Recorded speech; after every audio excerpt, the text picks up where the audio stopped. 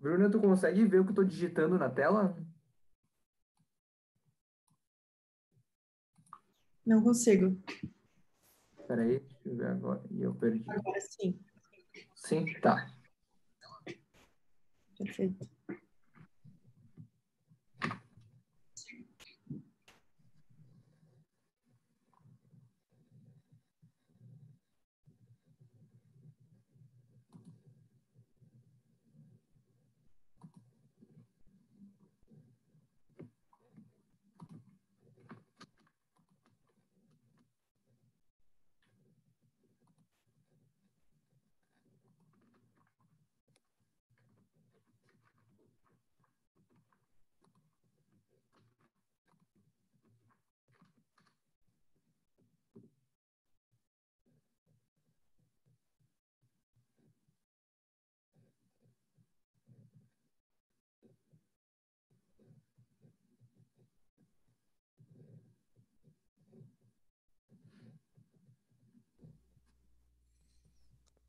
Volta, pessoal. Escuta bem? Ótimo. Sim,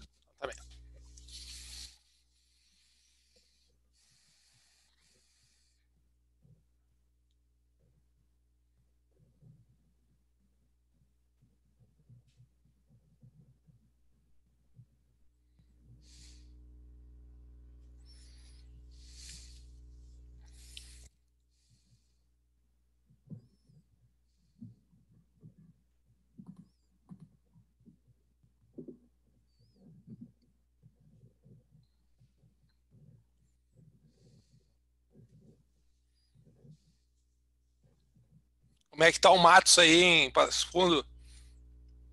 O Matos tá aqui, chefe, né? O cara é. Professor Matos, grande amigo. Grande Matos figura. pai e o Matos filho. O tanto faz, os dois. Dois.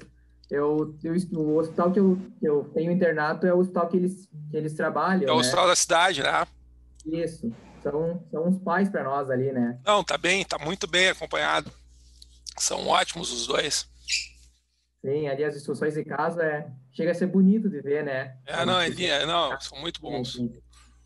É. O doutor Matos com toda aquela paciência dele, né? Não importa o momento Sim, que precisar sim. dele, ele para a vida e te explica. Isso aí, te explica. É, é impressionante. É um, além de ser uma pessoa sensacional, é um excelente cardiologista. Sim, não, dá gosto ali. É. É culpa Não, aqui do E um dele, pessoal muito, pessoal muito sério, né? Sim. Eles estão um pouco culpados aí pela minha escolha da cardiologia. Fui um pouco tendenciado ali. Sim. Foi uma boa influência.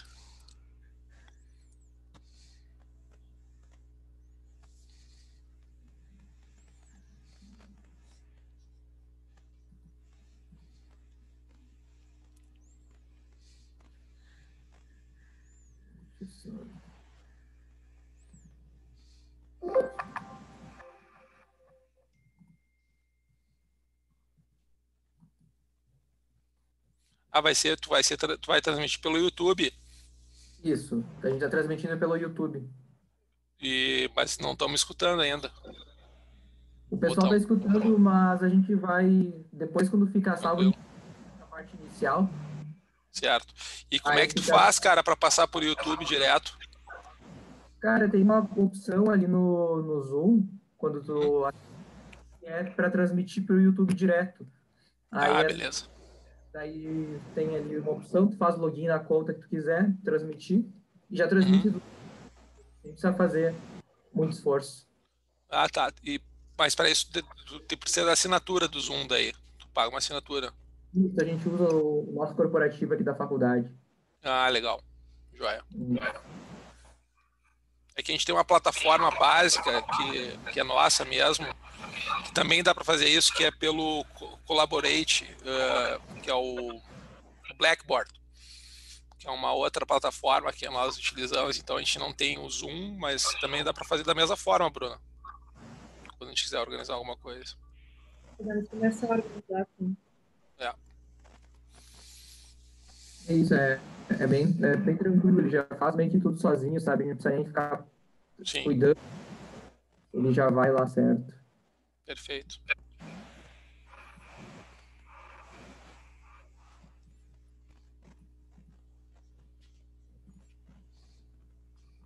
Deixa eu só ver que horas são. 8 e 2 agora. A gente no nosso grupo ali da, dos representantes das ligas e também no, no. A gente tem um canal no Telegram também, uhum. com dois lá para a galera ir entrando. Legal.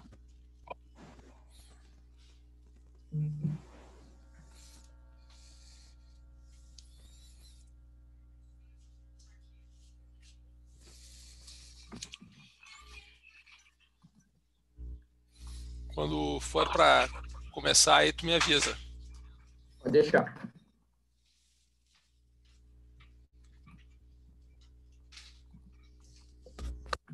Claro.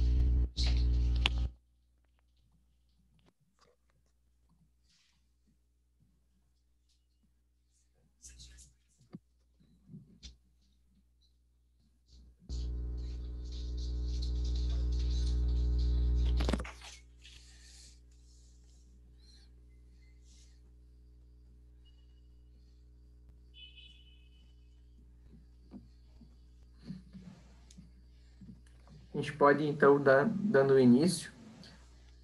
Uh, quero dar boa noite a todos que estão aqui assistindo a, a nossa aula. Já está iniciando a transmissão aqui no YouTube. Uh, em nome das Ligas de Cardiologia do Estado do Rio Grande do Sul, quero agradecer ao Dr. Leandro pela disponibilidade, então, dessa aula de insuficiência mitral, juntamente com a Bruna, que conseguiu fazer e organizar toda a logística aí para nós dessa aula. Eu vou passar a palavra para a Bruna, para ela falar um pouco sobre o Dr. Leandro. Boa noite, pessoal. Falo em nome da a Liga Acadêmica de Cardiologia da Universidade Fevale, aqui de Novo Hamburgo. E então queria agradecer a participação do nosso professor, o Leandro, falar um pouco da formação do professor. O Leandro Espinola Roese, ele fez graduação em medicina aqui no Rio Grande do Sul, fez residência em medicina interna e em cardiologia Atualmente, ele é membro titular da Sociedade Brasileira de Cardiologia e fellow da Sociedade Europeia de Cardiologia. Ah, assim como hoje é nosso professor de cardiologia na universidade e também começou na cadeira de semiologia. Queria agradecer a disponibilidade por dar essa aula para nós essa semana. Obrigada.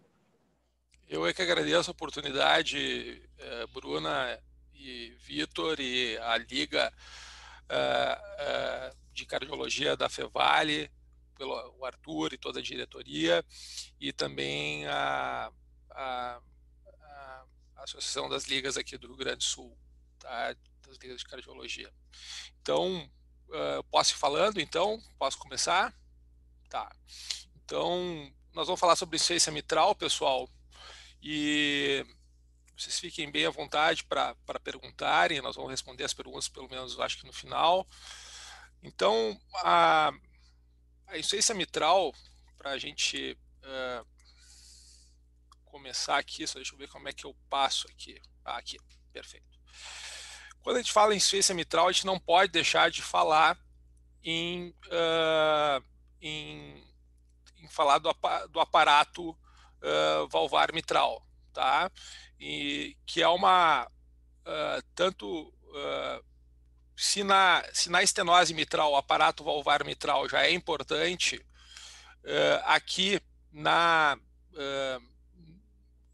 na insuficiência mitral é muito mais complexo e, e, então o aparato valvar ele se torna muito importante, tanto por ser causa uh, a gente ter problemas em qualquer um dos componentes do aparato valvar mitral pode causar insuficiência mitral, mas tanto porque ele é importante para a geometria e bom funcionamento do ventrículo esquerdo. Tá? E uh, a gente normalmente classifica as, as insuficiências mitrais né, em insuficiência mitral primária né, ou insuficiência mitral secundária, que é basicamente uh, em que na insuficiência mitral primária, estrutura valvar, algum, algum, algum dos, uh, da, dos, uh, dos componentes do, do, aparato valvar mitral, eles estão anormais e acabam causando uma insuficiência mitral, ou porque uh,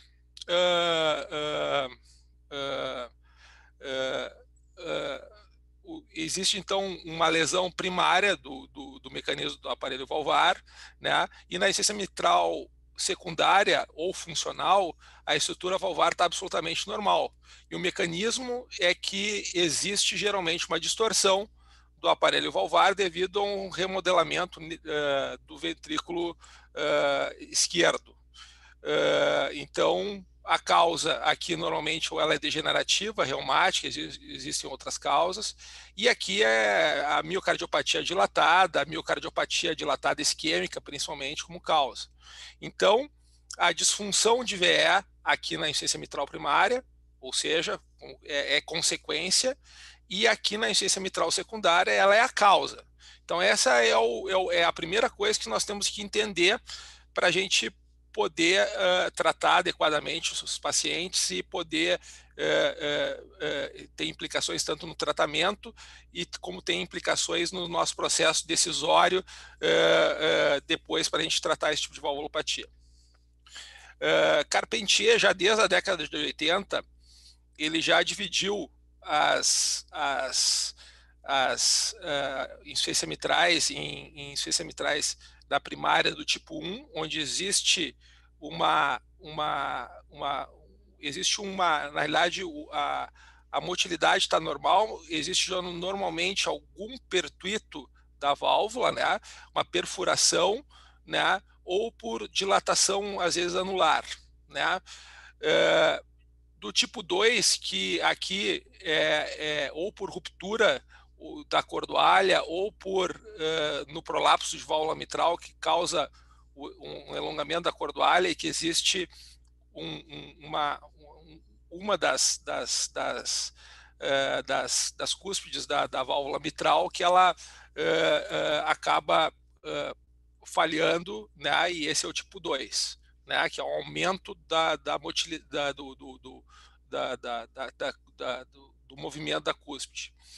E uh, na o tipo 3A é quando há um, uma restrição por geralmente por, uh, por um processo inflamatório, uh, tanto na sístole como na diástole da, da tanto a, da, da, abertura como do fechamento da válvula, uh, e geralmente causado por, doença, por febre reumática, por história de febre reumática, e que essa é, é a do tipo 3A.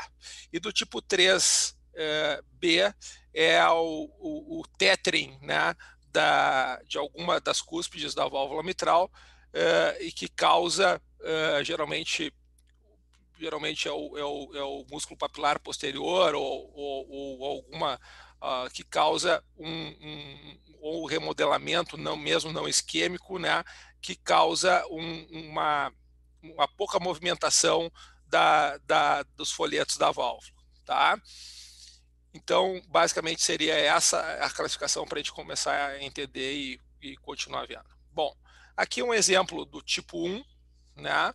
Então, uh, vocês veem que, veem que tem uma. não tem uh, problema na abertura, mas acaba ficando né, uma, uma, uma perfuração, ou por endocardite, ou por, por não captação do, dos folhetos.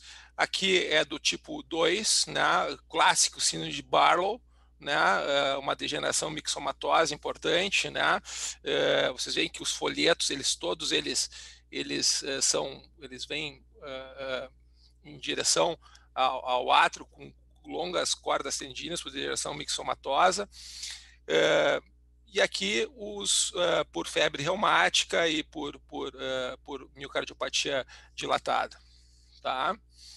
Então, na insuficiência mitral orgânica ou primária, as principais causas. Aqui no Brasil ainda é muito comum, uh, apesar de estar diminuindo cada vez mais em países uh, em desenvolvimento ou países subdesenvolvidos, a doença reumática ainda é muito prevalente pela, pela questão da febre reumática. Cada vez mais a gente vê em pacientes mais idosos, né? pelo menos aqui no Vale dos Sinos uh, e na região metropolitana, a gente vê mais pacientes idosos, mas tem alguns lugares, alguns não, em muitos lugares do Rio Grande do Sul e em muitos lugares da, da, do Brasil, onde ainda a febre reumática e como consequência daí a, a, a doença, a cardiopatia reumática é uma das importantes causas de insuficiência mitral, tá?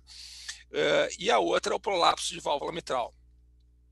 Uh, na insuficiência mitral uh, funcional, a doença isquêmica toma um papel muito importante, né, que geralmente pós-infarto uh, ou uh, uma miocardiopatia dilatada isquêmica, né, uh, em que acaba dando um remodelamento negativo do, do ventrículo esquerdo e acaba dilatando o anel da válvula mitral e acaba dando uma, uma, uma doença isquêmica, tanto por não só por dilatação, mas também por falha nos, do, da, da, contração em si dos músculos papilares, enfim. E na miocardiopatia dilatada, também não isquêmica ou isquêmica, é, é, também dando isso e dando, às vezes, importantes quadros nesse sentido. Bom, da classificação do, do prolapso mitral, a doutora Catherine Otto, de algum tempo, ela, ela classificou o prolapso de válvula mitral em na síndrome do prolapso da válvula mitral, que geralmente é em pacientes jovens, de 20 a 50 anos, predominantemente sexo feminino, né, em que o sopro é meso, telesistólico e, e possui um clique mesosistólico no exame clínico. É, os folhetos são finos e com deslocamento sistólico ecocardiograma pelo menos 2 milímetros acima do plano valvar, porque antigamente é, tudo que passava um pouquinho do plano valvar na ecocárdio, né, da, no fechamento da válvula mitral, era é, é, é considerado é, é, prolapso de válvula mitral. Então, hoje, muitas vezes a gente vê pacientes com história de, de 10, 15, 20 anos atrás, com com diagnóstico de prolapso mitral, que a gente desfaz diagnóstico. Né?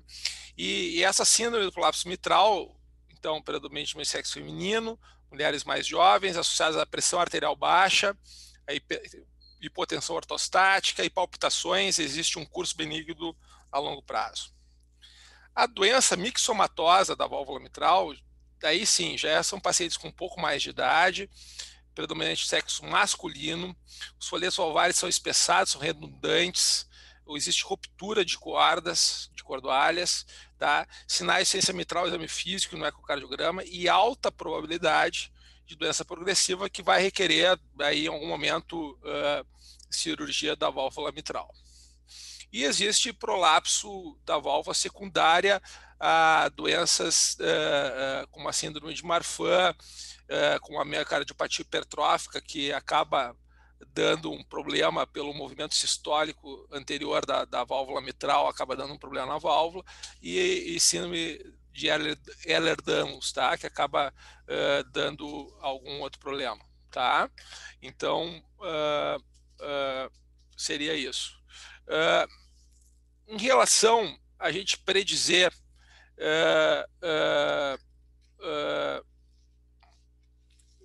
predizer quais são os desfechos clínicos né, no prolapso de válvula mitral que, é, que, que, que, podem dar é, pior prognóstico.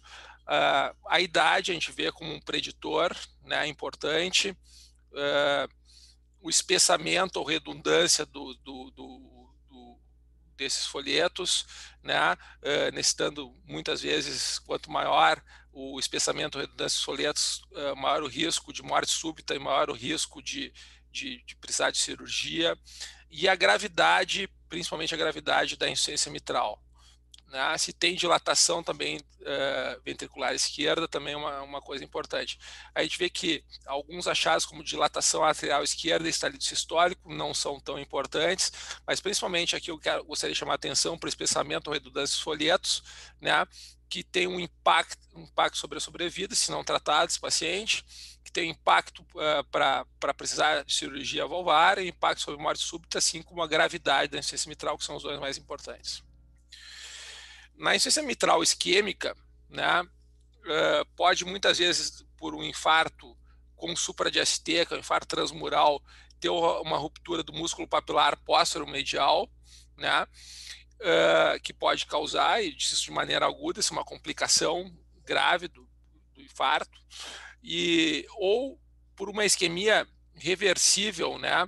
Uh, uh, um quadro de isquemia reversível de um, um, paciente com função, com função do ventrículo esquerdo preservada ou deteriorada, que é aquele paciente que, que no momento da dor ele tem uma disfunção do músculo papilar, que geralmente o póstero medial, uh, e que uh, naquele momento de isquemia ele tem um sopro sistólico mitral e que quando uh, se alivia a isquemia ele não tem mais. Né? Então, são esses, principalmente esses dois mecanismos. Né? A insuficiência mitral aguda também pode ser por endocardite infecciosa, é, sendo ela por ruptura dos folhetos e das cordoalhas.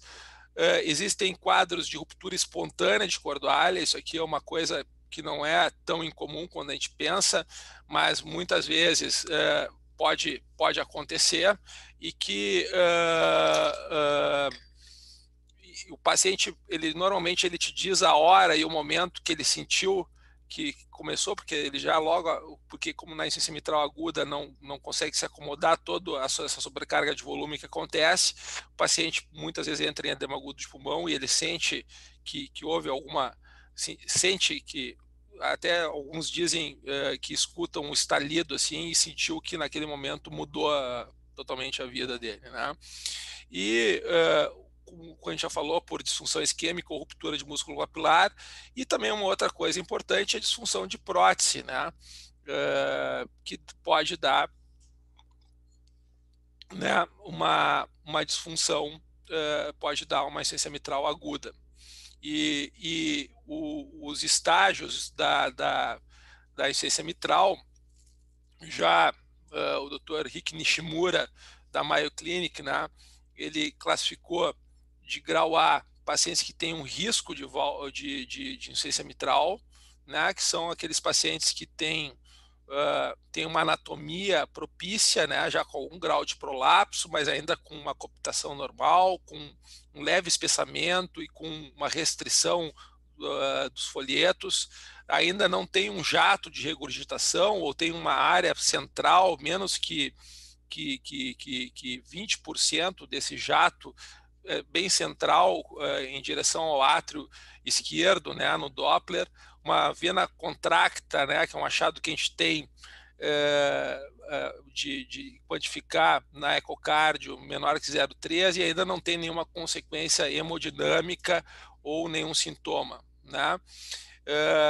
na, no estágio B, né, já seria uma insuficiência mitral severa, mas com ainda com uh, uh, uma, um prolapso de válvula mitral severo, desculpem, com uma cooptação normal, ou já com alterações reumáticas, né, com restrição do, dos folhetos e perda da cooptação central, ou paciente com história prévia de endocardite. Esse paciente já tem, já na hemodinâmica, já tem um jato de regurgitação mitral em 20 a 40%, ou um, um, um jato excêntrico sistólico tardio uh, de insuficiência mitral, uma vena contracta já maior, um volume regurgitante menor que 60 ml ainda, um, uma regurgitação, uma fração regurgitante menor de 50, né? Então, um pouco aumento do átrio esquerdo, com nenhum aumento do ventrículo esquerdo, com pressão na artéria pulmonar normal e sem sintomas ainda.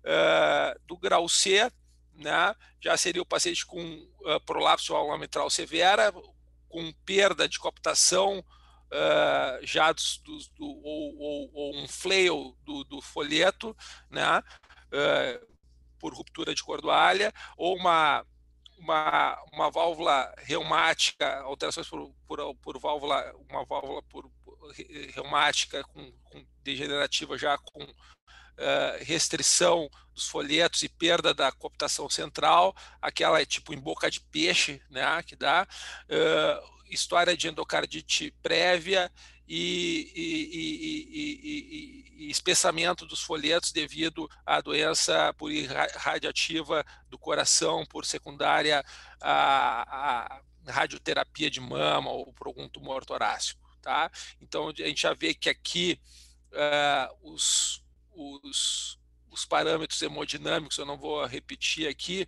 mas uh, já ficam bem piores e já há uma consequência hemodinâmica, né? O paciente já fica com, uh, com um aumento moderado a severo do, do átrio esquerdo, com aumento do ventrículo esquerdo, claro, isso é uma sobrecarga de volume, né? Uh, existe já uma hipertensão pulmonar que pode estar presente já no, no, no, no, no, repouso ou mesmo no exercício, né? E, e ainda não está sintomático porque ele tem uma insuficiência mitral severa, mas assintomática ainda. E o estágio D é uma insuficiência mitral severa assintomática, onde a gente vê os mesmos números que antes, né? mas que o paciente agora tem uh, uh, é, é, sintomas né, devidos à, à, insuficiência mitral persistentes após a revascularização e, e, e, e otimização da terapia, mesmo após né, isso, né, e, acaba tendo também uma importante uh, diminuição da tolerância ao exercício e dispneia aos esforços. Tá? Uh, bom, uh, aqui né, no, no, na, na, na insuficiência mitral,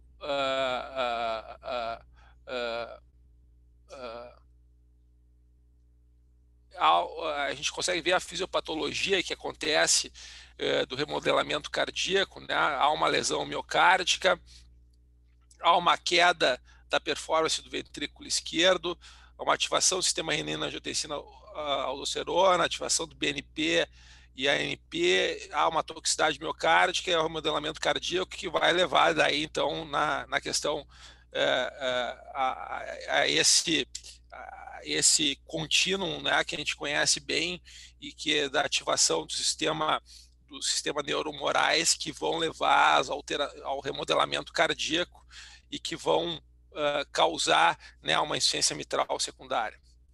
Tá? Na fisiopatologia da insuficiência mitral crônica, uh, já com volume graditante, a gente sempre tem um gradiente já de pressão uh, entre o ventrículo esquerdo e o átrio esquerdo, né, que depende do tamanho do orifício que depende da resistência vascular sistêmica e da pressão sistólica do ventrículo esquerdo. É, tudo isso vai influenciar no volume regurgitante.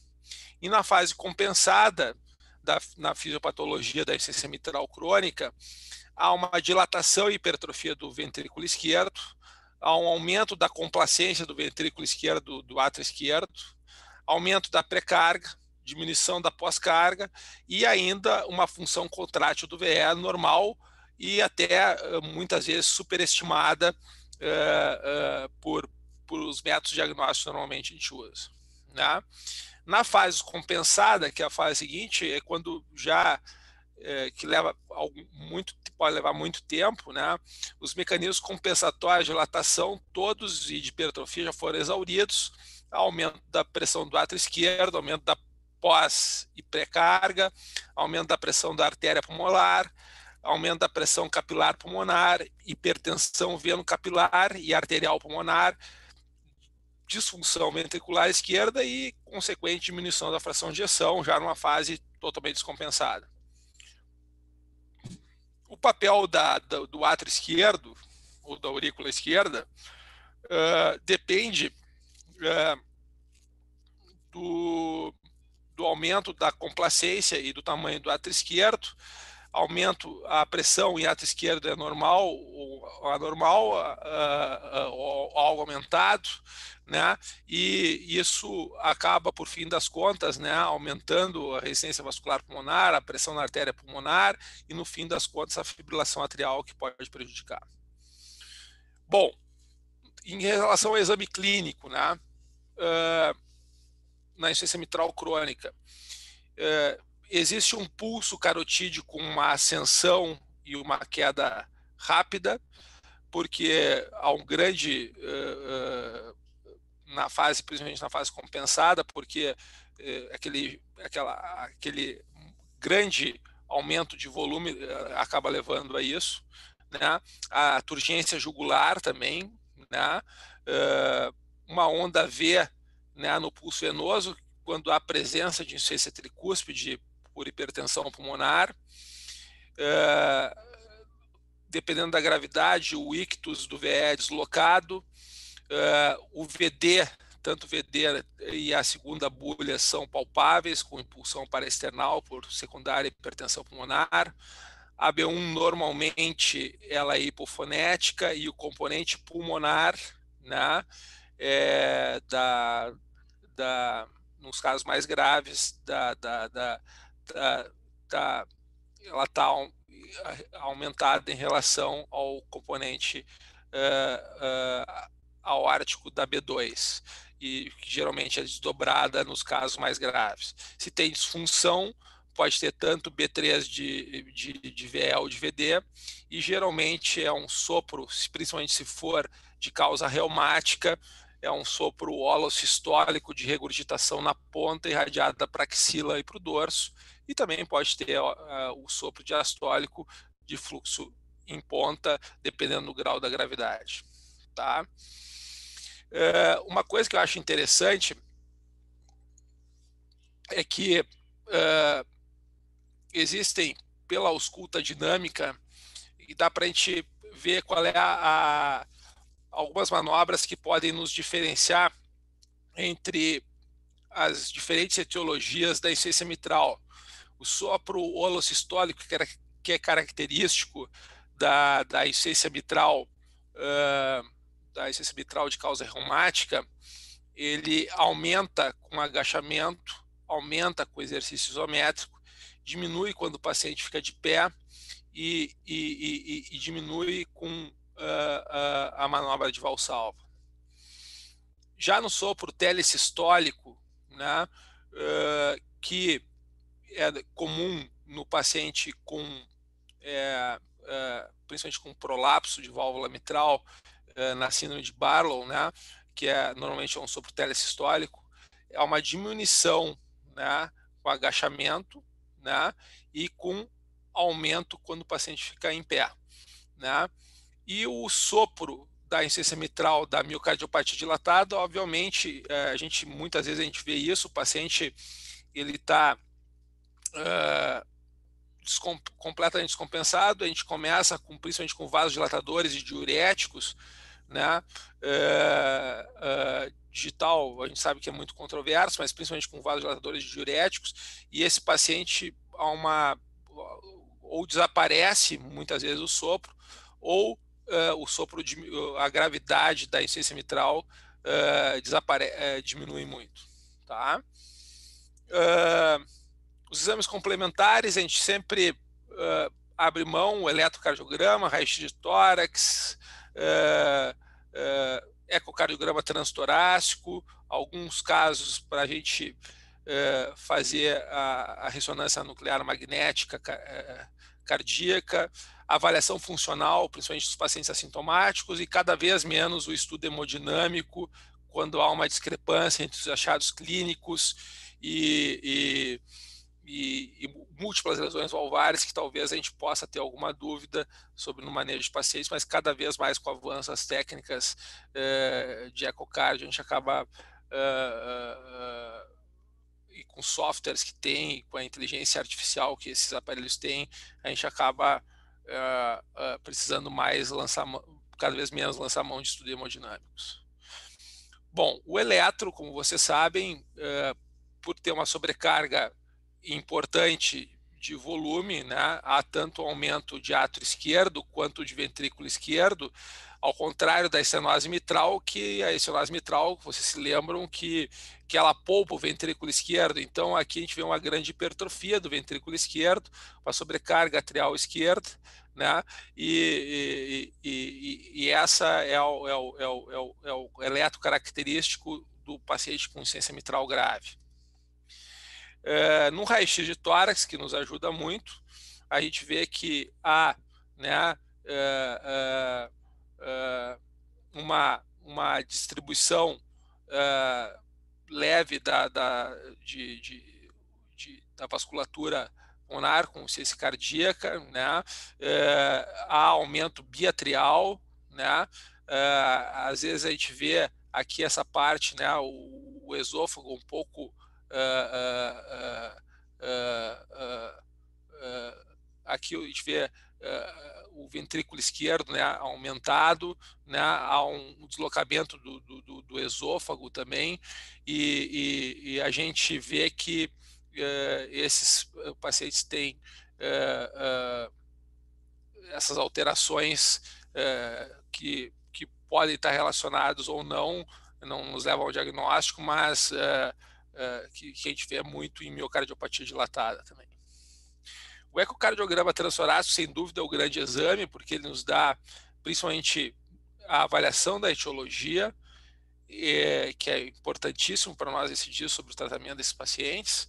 A gente vê sobre a medida das cavidades, né? A gente acaba vendo, porque isso vai nos levar a, a, a decisões, uh, a identificar a severidade da regurgitação, que é extremamente importante, e também uh, tanto avaliar a função contrátil do VE e também do ventrículo direito, e também ver se tem lesões e quantificar essas lesões associadas, né? E também quantificar a pressão em artéria pulmonar, que é uma questão muito importante para nós.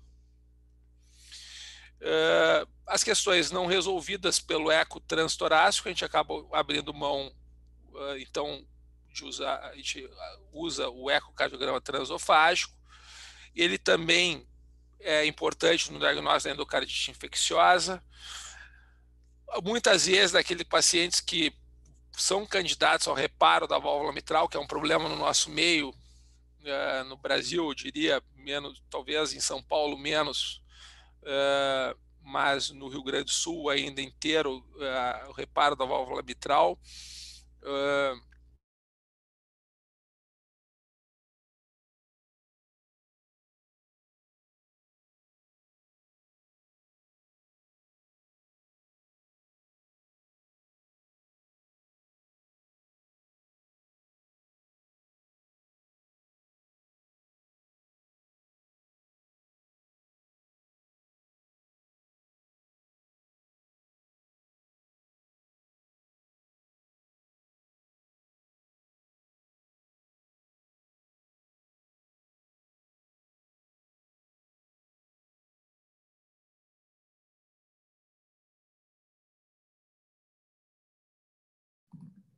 Pessoal, acho que nossa aula travou aqui do Dr. Leandro.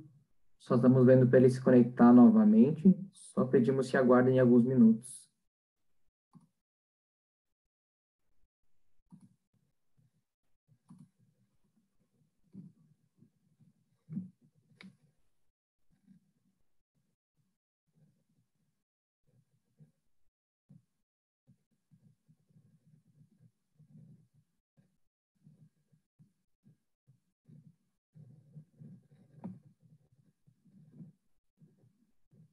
Só estamos aguardando, então, o contato com o doutor Leandro.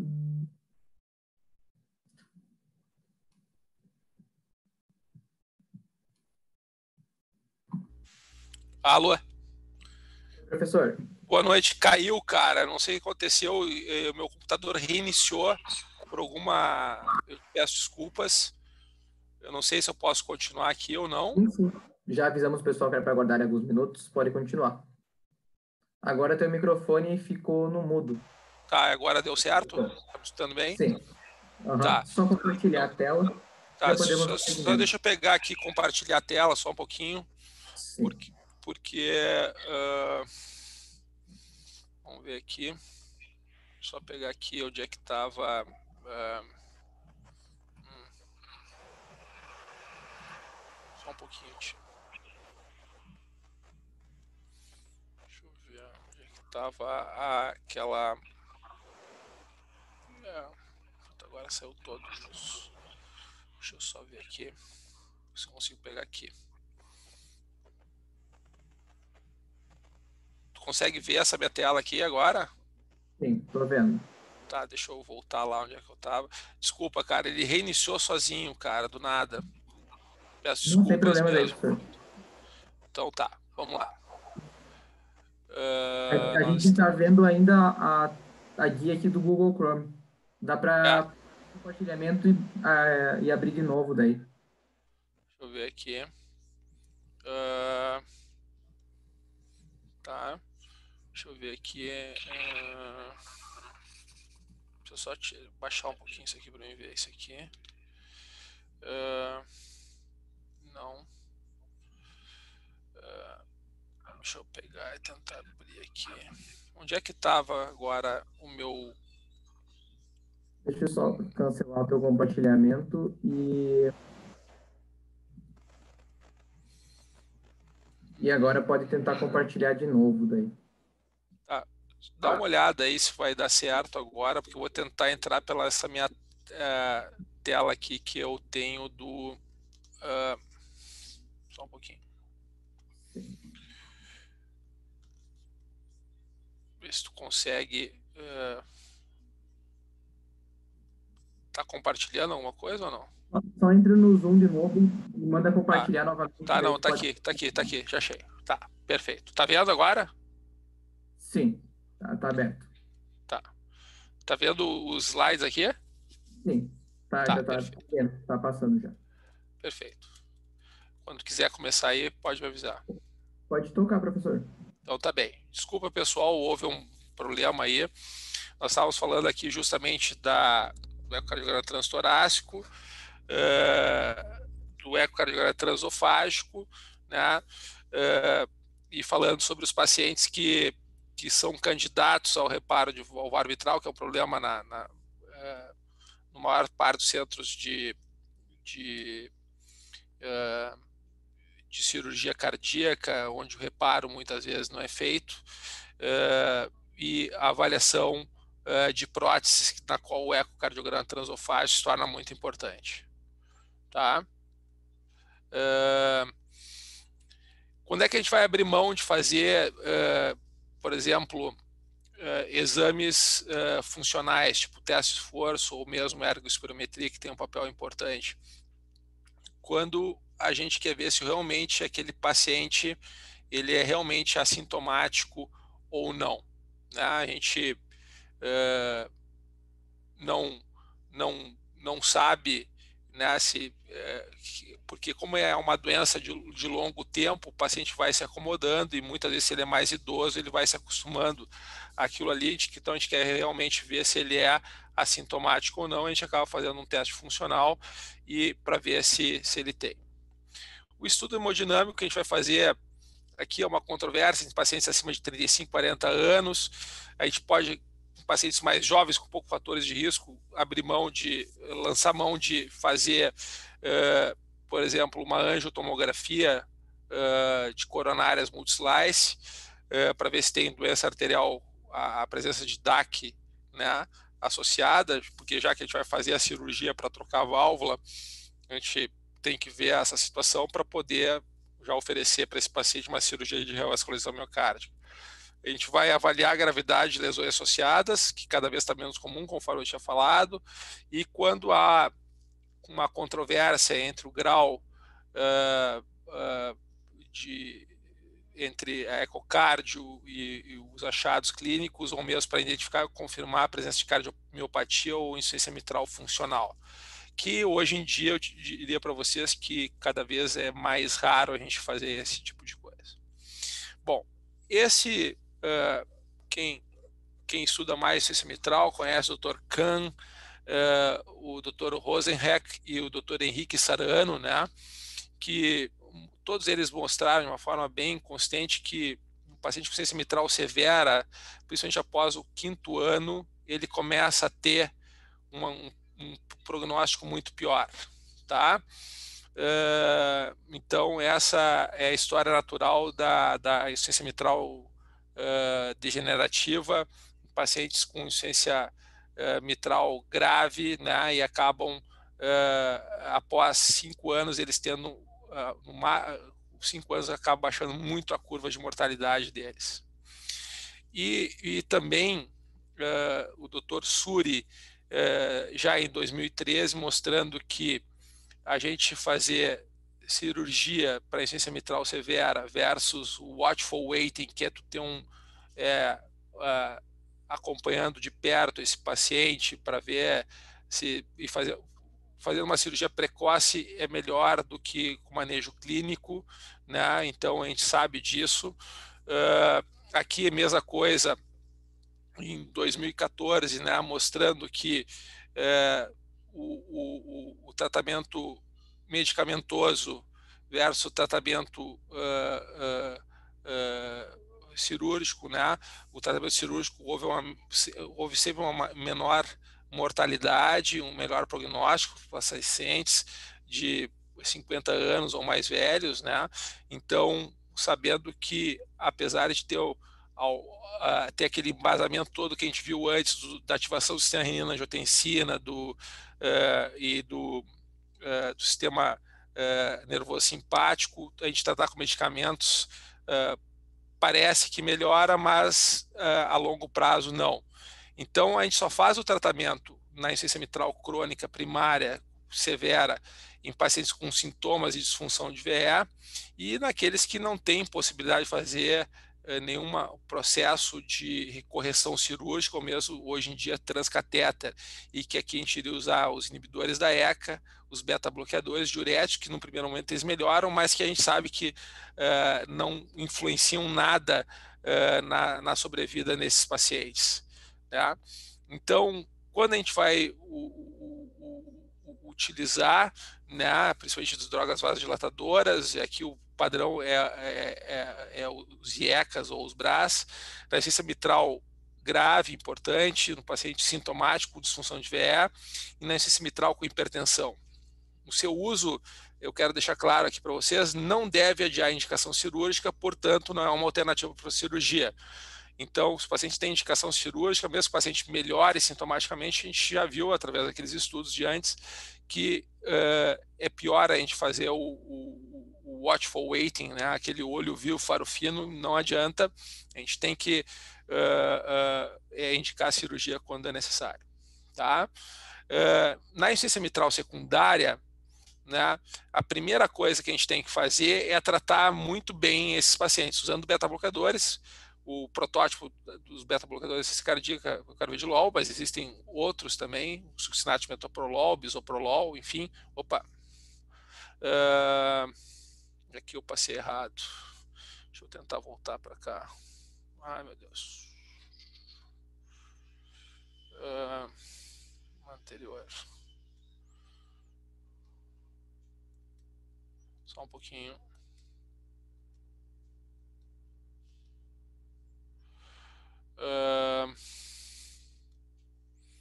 Então, voltando aqui, a gente vai primeiro vai fazer esse tratamento né, otimizado, inclusive com terapia de ressincronização.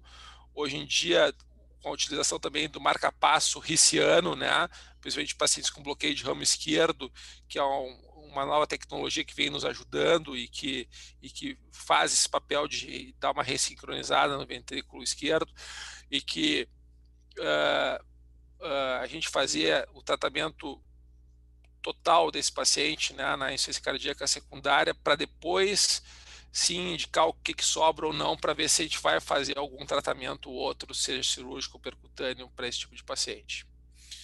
Uh, na insuficiência mitral aguda, a meta aqui seria reduzir, primeiramente, pós-carga, reduzir congestão pulmonar e aumentar o débito cardíaco. Como é que a gente faz isso?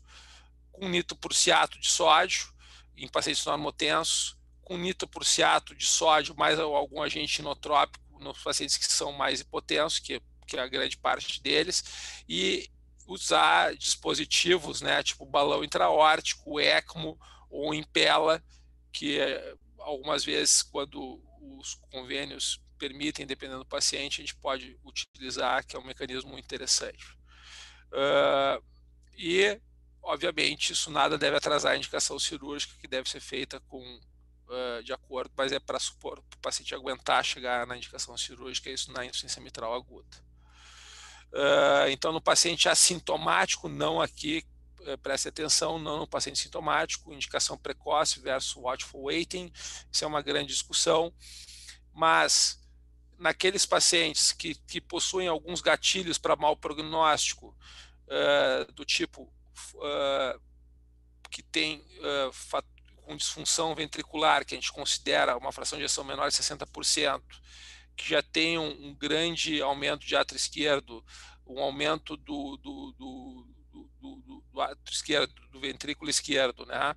E fatores como idade, uh, presença de insuficiência cardíaca, classe funcional, quanto pior, uh, uh, mas são fatores que afetam isso, né? Se tem DAC associada, se tem fibrilação associada, se tem hipertensão pulmonar, a severidade da regurgitação, quanto maior a severidade, pior. Se tem flail do folheto, né? E se tem uh, uh, uh, algum atraso né, na intervenção após o início da disfunção ventricular, a gente sabe que esses são gatilhos para o prognóstico, esse paciente pode levar a gente a operar mesmo um paciente assintomático.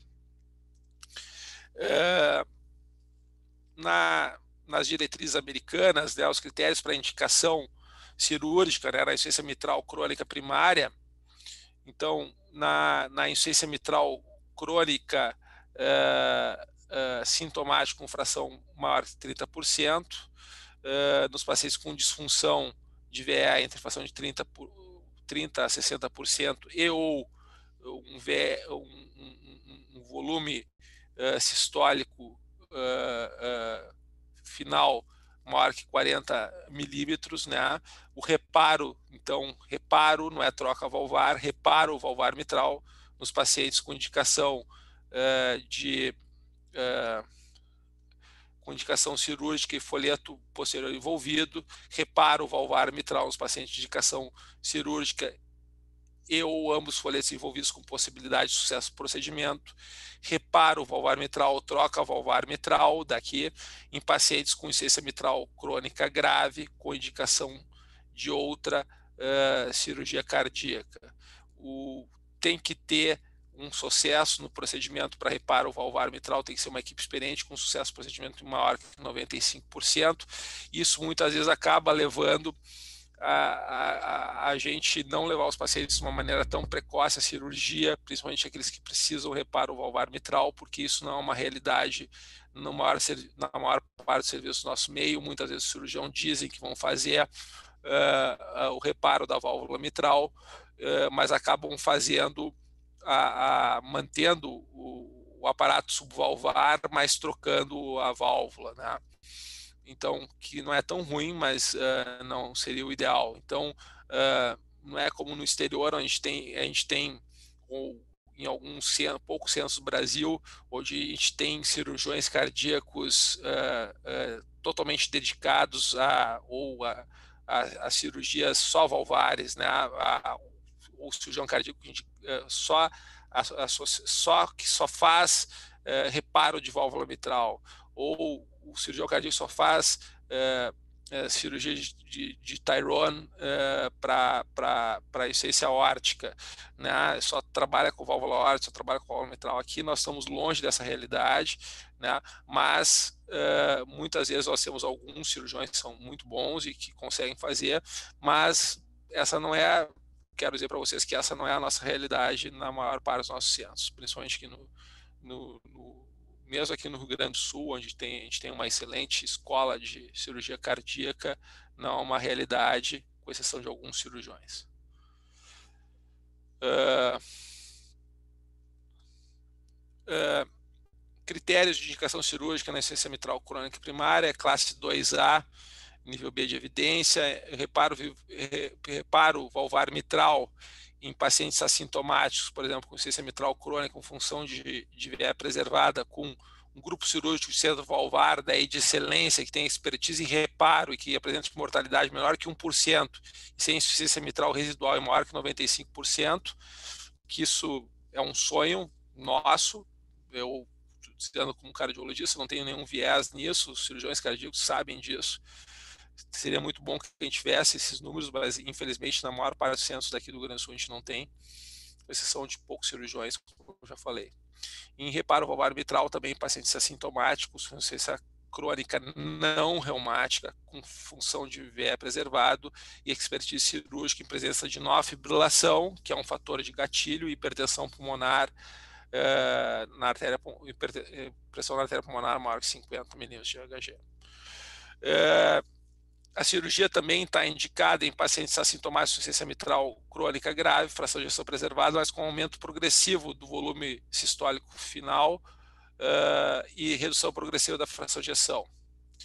E a, o reparo valvar uh, transcatéter na insuficiência mitral crônica, com anatomia favorável ao procedimento, ela é razoável, sendo uh, com é um nível 2B, com nível de evidência B e, e risco cirúrgico proibitivo e está sintomático a despeito da otimização, uh, a despeito da otimização do tratamento para insuficiência cardíaca, o paciente tem que estar com tudo aquilo e ainda se tiver indicação de, uh, de ressincronização, fazer a ressincronização, então a gente sabe disso e que a gente tem que estar com esse paciente muito bem uh, e que às vezes no SUS é muito difícil a gente conseguir alcançar isso. Uh, critérios para indicação cirúrgica na insuficiência é, mitral crônica primária, né? É, revascularização, é, reparo da válvula mitral, né?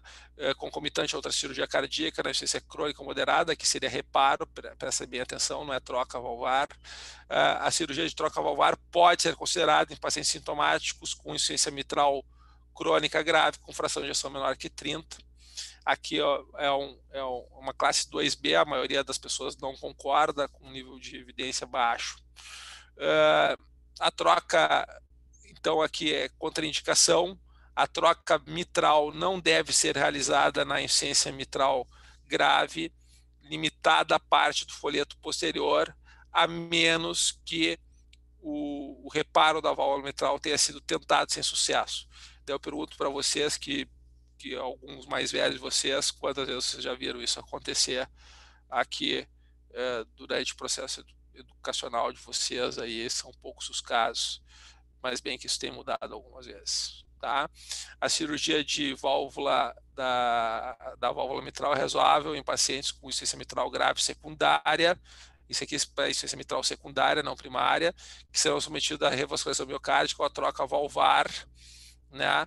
É, daqueles que têm uma insuficiência mitral grave, crônica, muito grave, que vão realizar cirurgia de revascularização coronariana ou troca valvar aórtica, a gente pode fazer junto. Uh, isso é uma, uma classe 2A, né? há uma tendência a se fazer, mas é controverso.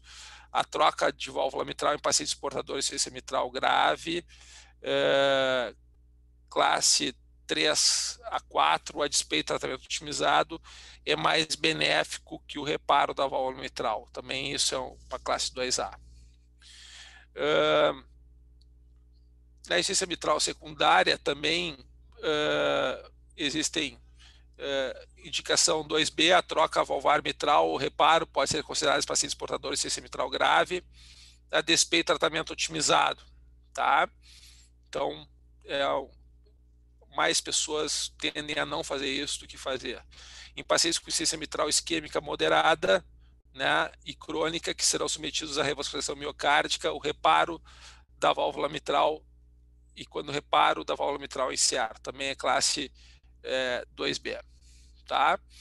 E aqui são indicações que a gente tem da, da Sociedade Europeia de Cirurgia Cardíaca de 2017 e que logo talvez possa está mudando esse quadro, porque a gente está tendo cada vez mais experiência no nosso meio com, com dispositivos uh, percutâneos para melhorar. Então, pacientes com insuficiência mitral primária importante, com alto risco cirúrgico e com anatomia favorável que mostrou no eco transofágico, ainda tem uma classe 2B.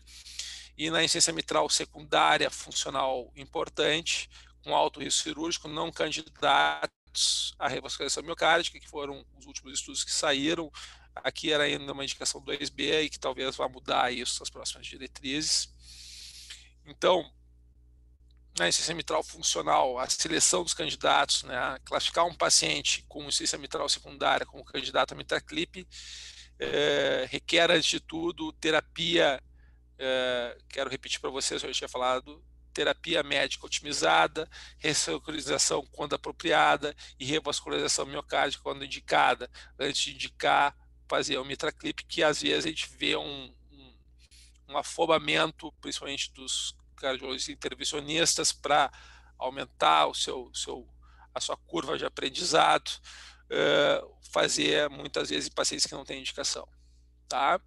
O Mitra Clip, é, isso aqui uh, é, um, é o todo device né, que se utiliza, que ele utiliza um princípio de uma, de uma, de uma, de um, de uma cirurgia que era feita no passado e que se realmente se grampeia e que se diminui a insuficiência mitral. E no futuro, uh, a gente já vem vindo uh, vários, uh, vários devices que estão cada vez mais, que são derivados do, do, do princípio do MitraClip ou que, que, atuam nas cordoalhas ou que atuam mesmo no ventrículo ou que tu coloca uma banda no seio venoso e que tu puxa, é tipo um fio russo da, daqueles que, da, daquelas das mulheres que fazem uh, cirurgia plástica, né, que dá uma puxada, diminui o, a, a área, né? Então tem, tem vários, uh, uh, a gente vê um número de, de, de sistemas que de devices que estão vindo aí no mercado e o, o existe já uh, e cada vez se tornando cada vez mais realidade, uh, por, claro que tudo isso por pulsão transeptal, uh, agora com mesmo com implante de catéteres, né,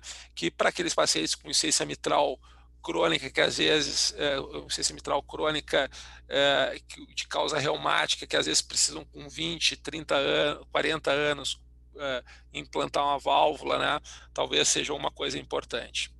Eu queria agradecer a todos essa oportunidade e estou à disposição de vocês para qualquer pergunta.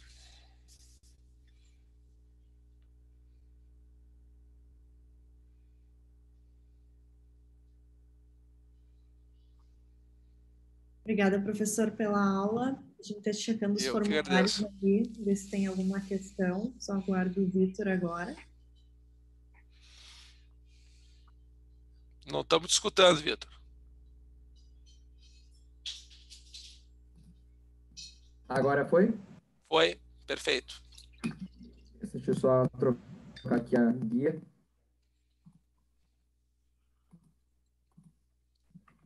Professor, veio uma pergunta aqui para a gente sobre a substituição de válvula. Uh. Qual seria a melhor né, entre a biológica, a metálica e o porquê da, dessas ah. Eu não entrei nesse, nesse aspecto, mas isso é um aspecto muito importante, uh, principalmente na, uh, na válvula mitral. Uh, depende da idade e depende também, a gente tem uma a tendência é a gente não querer trocar a válvula, né, em primeiro lugar. A tendência é a gente, em primeiro lugar, não trocar a válvula. E quando puder trocar a válvula, se trocar a válvula, se o paciente não for muito jovem, porque as válvulas biológicas são cada vez mais duráveis, que a gente possa manter o aparato subvalvar, pelo menos, isso é importante, porque senão a gente perde toda a geometria uh, do ventrículo esquerdo, isso é muito ruim, então cada vez menos tem se usado válvulas metálicas. Então, para não precisar se trocar toda hora, talvez esses dispositivos de uh, percutâneos no futuro sejam uma coisa importante. Né? Não sei se me fiz entender, porque aqui funciona um pouco diferente da, da estenose aórtica, né? porque como aqui é uma uh, se dá entre duas câmeras de baixa pressão, né? Uh, as válvulas biológicas elas suportam mais muito tempo mais e, e com menos problema de trombose, né, do paciente a longo prazo, é, que vai usar uma válvula me mecânica aqui, metálica. Tá bem. Outra pergunta seria o, o, exame padrão ouro, então seria o, o, ecocardiograma para o diagnóstico ou se costuma utilizar outros métodos? Se a gente for considerar na literatura o padrão ouro, sempre tudo foi é, levado uh, em comparação aos achados de, de cateterismo dos estudos hemodinâmicos, né?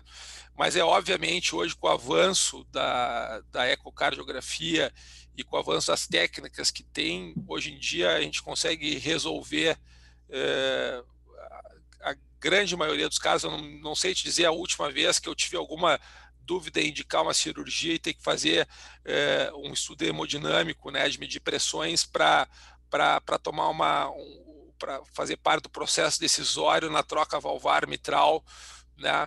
É, é mais comum isso na, na estenose aórtica é, do que é, propriamente aqui, né? Mas vem se tornando cada vez mais, não dá para dizer que é o padrão ouro, porque sempre foi comparado a estudos hemodinâmicos, mas a, assim, com novas técnicas tipo strain é, e, e, e, de, de ecocardio e com aparelhos cada vez menores, com probes cada vez melhores e com tecnologia cada vez melhor, e tendo muito menos dúvida quanto uh, a, a indicação através do ecocardio. Beleza, então, professor. Essas seriam as dúvidas da nossa aula. Não sei se ficou alguma no, no YouTube, ele não não está aparecendo para nós. Vamos ver. Mas queria já em primeira mão agradecer, então, professor, pela, pela aula. Né? Valvulopatia é sempre um tema muito prevalente uh, importante aqui para quem gosta da cardiologia. Sobrou pouco assunto, na realidade, para a gente falar, né? Uh, uh, mas assim, eu acho que é um assunto que é sempre importante para a formação de vocês. É um assunto que eu tentei trazer muitas coisas que vocês já sabiam, uh, tentei trazer um aspecto de futuro, né? E vocês serem, terem uh, consciência, eu acho, né? Que é de conhecer o serviço de vocês de cirurgia cardíaca. Porque num serviço, por exemplo, uh, eu posso falar para a maior parte dos serviços de SUS do Brasil, onde uma mortalidade cirúrgica é muito maior do que no serviço privado, infelizmente ainda. Né? Então a gente tem que pensar muito e, e, e, encaminhar um paciente, principalmente às vezes um paciente jovem que consegue tolerar né, bem uma insuficiência mitral, é, é, principalmente se ele está sintomático, porque eu, eu, eu, sinto, como eu digo para meus alunos aqui, no ambulatório de cardiologia, eu sinto uma certa dificuldade em enviar os pacientes com dia hora marcada para morrer numa cirurgia, né, dependendo da mortalidade que cada um tem no seu lugar. Existem serviços que são excelentes, mas a mortalidade a gente sabe que infelizmente ainda desejar.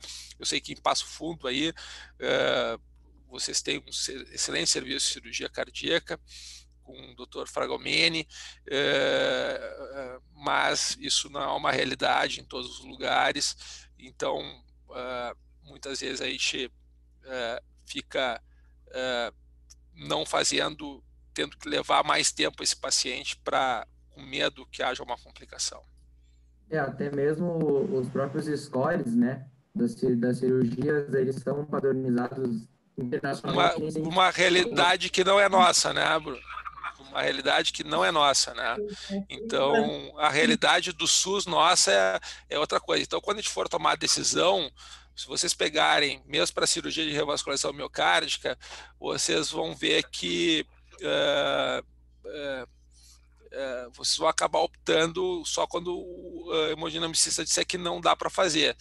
Eu já convivo numa realidade também que eu tenho um, um, um cirurgião cardíaco que que é o professor Orlando Vender, que é que para mim é um dos cinco melhores cirurgiões cardíacos do país, ele é professor titular da URGS e que, e que, e que, que nós temos uma baixa mortalidade no serviço privado aqui, então dá para discutir às vezes né, sobre vai para cirurgia, vai para o tratamento percutâneo, por exemplo, na cardiopatia isquêmica, mas no SUS não dá muitas vezes, já é uma realidade completamente diferente, né? Uma uma estenose aórtica tem uma mortalidade de 20%, entendeu? Então fica ruim, né, tu decidir isso.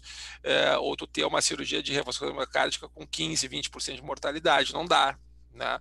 Então, e muitas vezes a gente vê os pacientes vindo com indicação cirúrgica sem estar com tratamento clínico otimizado, que a gente tenta fazer primeiro antes de mandar esses pacientes. Isso aí. É uma decisão conjunta, né, geralmente. Claro, botar na, na balança para o próprio paciente, para a família, né, também. Nós temos que sempre pensar o seguinte, né, que a gente tem que pensar no que, que é melhor para o nosso paciente, não o que é melhor para nós, nem para o cirurgião cardíaco, que às vezes é nosso amigo, é, ou que é uma pessoa que a gente gosta, ou não sei, ou, ou hemodinamicista, a gente tem que pensar no que é melhor para o paciente. Às vezes, a realidade do que a gente lê, principalmente aqui, de reparo de válvula mitral, eu não sei como é que é aí, mas não deve ser diferente daqui aqui. tu entendeu? De operar com ecocardiograma transesofágico para fazer reparo de válvula mitral. Já viu isso aí em Passo Fundo? Não sei como é que está aí agora, mas não Eu deve não ter eco transesofágico. É, mas assim, não, não tem eco transesofágico para fazer reparo de válvula mitral. Entendeu? São poucos centros do Brasil que se faz isso de, de, de rotina. Né? E eu acho que a nova geração de cirurgiões cardíacos que possa vir por aí possa mudar isso aí. É verdade. Beleza, então agradeço novamente o professor pela disponibilidade, pela aula, a Bruna, que organizou aí, está organizando uh, junto com o Arthur aí, o, essa aula das ligas de cardiologia do Rio Grande do Sul. Avisar o pessoal, então, que as listas de presença já está disponível no, ali na descrição do vídeo. E agradecer a presença de todos aí nessa noite, nessa aula de, de insuficiências mitrais. Muito obrigado, pessoal. Uma boa noite a todos. Obrigado, Bruna. Obrigado, Arthur. Obrigado, Vitor. Foi um prazer te conhecer. Até a próxima. Obrigado. Prazer, tchau, tchau. tchau, tchau. A gente vai encerrar a transmissão, pessoal, mas vocês fiquem à vontade para poder voltar ali e assistir a aula. E a lista de presença, então, está disponível. Qualquer dúvida, vocês podem nos mandar e-mail e também uh, chamar a gente lá pelo Instagram. Tá bem? Uma boa noite a todos.